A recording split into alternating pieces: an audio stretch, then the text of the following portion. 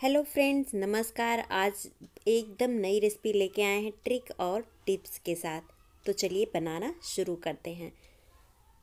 गाजर में प्रचुर मात्रा में आयरन, विटामिन ई पाया जाता है, जो नया खून बनाने में काफ़ी मददगार भी होता है और आँख के लिए बहुत अच्छा होता है क्योंकि इसमें विटामिन ए होता है तो सेहत के लिए काफ़ी मददगार होता है।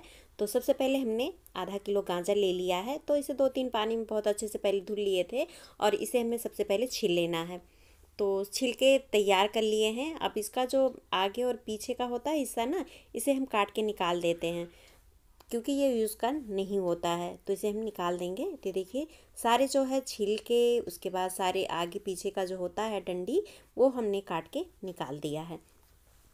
बस अब इसे हमें घिस लेना मोटे की तरफ़ से हमें घिसना है। इससे क्या होता है ना, आसानी से घिस जाता थोड़ा टाइम कम लगता है और इसे हमें क्या करना है, इसको हमें पकाना ही और ये देखिए, जो डंडी पीछे वाली निकलती है ना, इसे हटा दें। इसे नहीं यूज़ करें। गाजर जो है, ये पूरा हलवा ही मतलब ख़राब कर देते हैं। देखिए, हमने जितनी डंडी निकली थी पीछे का, सारा हमने निकाल दिया है।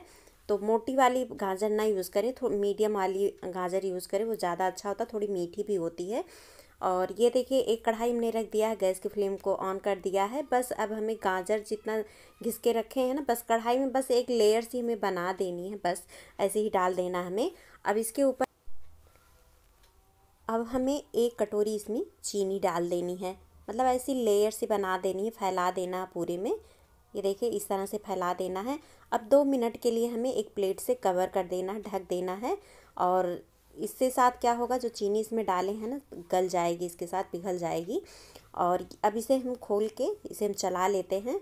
ये देखिए, जो है, गाजर में अपना खुद का पानी होता है तो चीनी और पानी मतलब दोनों मिलके अच्छे से मतलब पिघल जाएँगे जल्दी से। इसे हमें दोबारा से कवर कर देना इससे क्या होगा ना मतलब गाजर जो है, वो अच्छे से पक जाएगा। अभी हमें जो है दोबारा से हमें ढकना नहीं है, बस ऐसे ही चला चला के इसे हमें मतलब कब पका लेना है और सूखा कर लेना है। ये देखिए गाजर में पानी मतलब छोड़ दिया है तो बहुत ज़्यादा टाइम नहीं लगता है, बहुत जल्दी से मतलब ये सूख जाता है।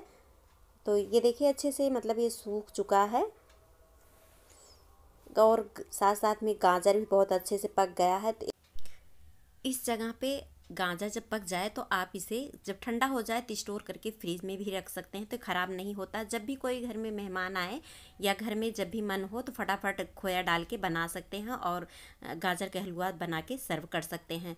तो ये देख, और ये देखिए, एक कटोरी हमने खोया, ले लिया। हमने, हम क्या करते हैं ना समय की बचत मतलब हो जाए, गैस की खपत कम हो तो हम क्या करते हैं, जो हफ़्ते में मतलब जो मलाई निकलती है ना, मलाई हम इकट्ठा करके फ्रीज़र में रख देते हैं और उसी का जब इकट्ठा हो जाता है, उसी का हम खोया बना लेते हैं।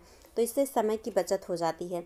और ये देखिए, अच्छे से मतलब सूखा कर लिए थे तो एक चम्मच घी डाल के इसे हम चला लेते हैं, अच्छे से मिक्स कर लेते हैं। थोड़ी देरी से हमें भून लेना है। अब इसमें हम दो से तीन चम्मच इसमें हम दूध डालेंगे, बहुत अच्छा मतलब इसमें कलर भी आ जाएगा और टेस्ट भी मतलब अच्छा आ जाएगा। और इसमें हम एक कटोरी के लगभग इसमें हम खोया डाल दिए हैं। जितना चीनी डाले थे, बस लगभग उतना ही डाले हैं। तो खोया कम ज़्यादा भी कर सकते हैं, कोई बात नहीं है। ये देखिए, हमने इतना खोया बचा भी दिया है। और इसे हमें अच्छे से मिक्स कर लेना है। तो ये देखिए मतलब गाजर बहुत अच्छे से पक के तैयार हो गया अब इसे हमें थोड़ा सा सूखा कर लेना है। ये देखिए, सूखा हो चुका है। अब इसमें इलायची पाउडर डालेंगे तो ज़रूर डालिए, बहुत अच्छा टेस्ट आता है। अब इसमें चाहे आप ड्राई फ्रूट डाल सकते हैं। हम नहीं डाल रहे हैं क्योंकि मेरे बच्चे नहीं खाना पसंद करते हैं इसमें डाल के। और अब लास्ट सबसे लास्ट में इसमें हम एक चम्मच घी डालेंगे और गैस की फ्लेम को ऑफ़ कर देंगे। बहुत अच्छा टेस्ट आता है। ज़रूर डालिएगा। तो ये बस गर्मा गर्म हलवा बन के तैयार हो गया है, अपनी फैमिली और गेस्ट के साथ इंजॉय करिए। तो मेरी रेसिपी आप लोग को कैसे लगती है हमें कमेंट ज़रूर किया करें। मिलते हैं अगली वीडियो के साथ, तब तक के लिए आपका दिन शुभ हो।